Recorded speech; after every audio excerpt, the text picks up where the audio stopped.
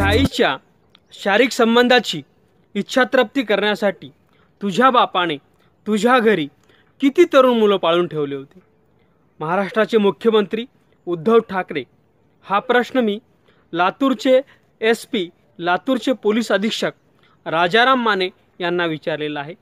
राजाराम माने यांना हा प्रश्न का विचारलेला आहे पा? या ठिकाणी हा जो व्यक्ती दिसतो याचं नाव बलभीमपुरी आहे.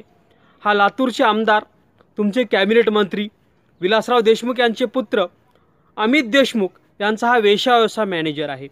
मांजरा कॉलेजच्या मुलींना लातूरमधील मांजरा कॉलेजच्या मुलींना वेशाव्यवसायावर बसवण्याचं काम अमित देशमुख आणि हा व्यक्ती बलभीमपुरी हा करायचा. अमित देशमुख सांगतील त्या ठिकाणी मांजरा कॉलेजच्या मुलींना वेशाव्यवसायासाठी घेऊन जाण्याचं काम हा करायचा. काँग्रेसचे वेगवेगळे नेते काँग्रेसचे कार्यकर्ते काँग्रेसचे आमदार यांना वेशा पुरवण्याचं काम अमित देशमुख करायचा. आणि या ठिकाणी अमित देशमुख सांगतील त्या ठिकाणी या मुलींना घेऊन जाण्याचं काम हा बलभीमपुरी हा व्यक्ती करायचा.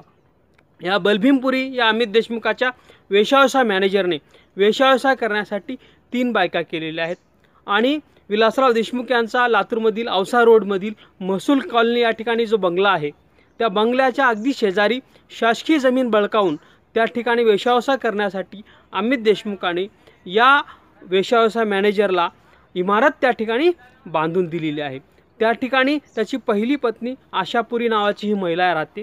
त्या आशापुरीच्या या बलभीमपुरी याची पत्नी आशापुरी हिच्या शारीरिक संबंधाची शंभर टक्के इच्छा तृप्ती करण्यासाठी या अमित देशमुखाचा व्यवसाय व्यवसाय मॅनेजर बलभीमपुरी याने त्याच्या घरी मागची पंधरा वर्षे हा जो या ठिकाणी मुलगा दिसतोय हा नागनाथ हळवी नावाचा सोलापूरचा हा तरुण आहे. या तरुणाला घरी पाळून ठेवलेला होता. आणि मी हे काही फेकत नाही आहे याला शंभर टक्के पुरावेसुद्धा देतो.